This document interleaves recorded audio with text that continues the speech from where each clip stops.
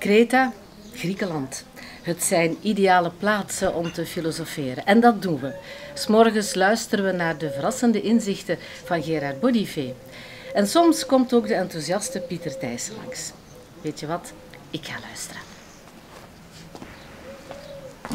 Die assen moeten nog anders geplaatst worden, zodat Ja. dat je duidelijker kunt zien wat er in dit geval is.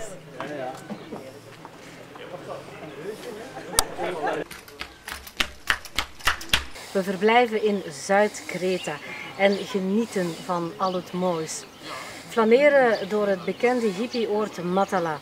Wandelen door bergkloven. Eten in de buurt van een bergmeertje. En dan uitrusten in stille kloostertjes.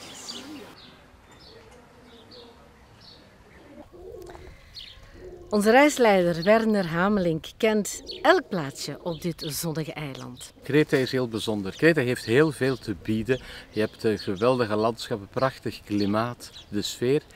Maar hetgeen dat mij het meest eh, blijft is die philoxenia, die typische Griekse gastvrijheid. En dat Kreta, dat heeft mijn hart gestolen. Hier in het zuiden van Kreta dat massatoerisme nog steeds niet is doorgedrongen en nog altijd diezelfde gemoedelijkheid heerst van 20 jaar terug. Filosoferen doen we al twintig jaar en Kreta is een geliefkoosde bestemming. Want in Griekenland is filosofie en wetenschap ontstaan. Wanneer wij wetenschap doen, dan bedrijven we dat wat men vroeger noemde natuurfilosofie. En eigenlijk vind ik dat nog altijd het mooiste woord. Vandaag bijvoorbeeld hebben we het gehad over de relativiteitstheorie van Einstein. Dat hele mooie natuurfilosofie, die ook diepe wortels heeft in het oude Griekenland. Je moet het leven beleven. Je moet het bestuderen, tuurlijk, want het is zo interessant. Maar je moet het ook rechtstreeks beleven zonder altijd alles in vraag te stellen, maar rechtstreeks vanuit de ervaring vertrekken. Het ene doen we in de voormiddag en het andere doen we in de namiddag. En s'avonds praten we daarover na.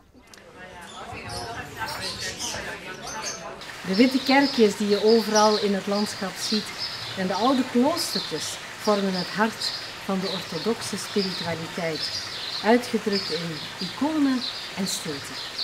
Voordat we binnengaan, ga ik eerst even mijn sjaal inslaan. Volgt u mij?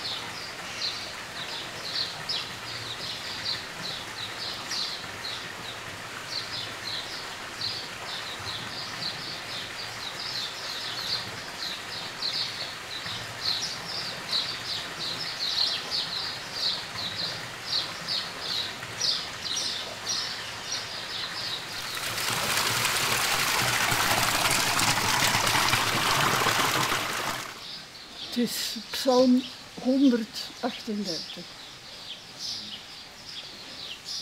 Gij, gij kent mijn hart, gij doorgrondt mij.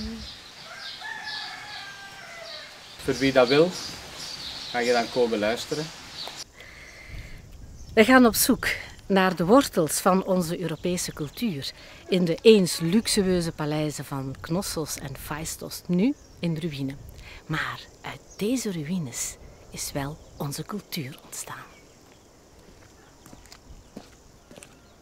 Het universum is, is gigantisch mysterieus en, en het probleem of het gevaar is dat naarmate wij als, als, als kinderen van het universum ouder worden, dat we die, dat we die kinderlijke verwondering verliezen.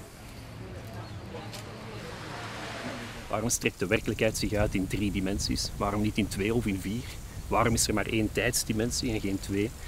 Ehm, waarom loopt de tijd aan een snelheid van één seconde per seconde? Dat soort van kinderlijke vragen, dat is de taak van de wetenschapper, de taak van de filosoof om die te beantwoorden.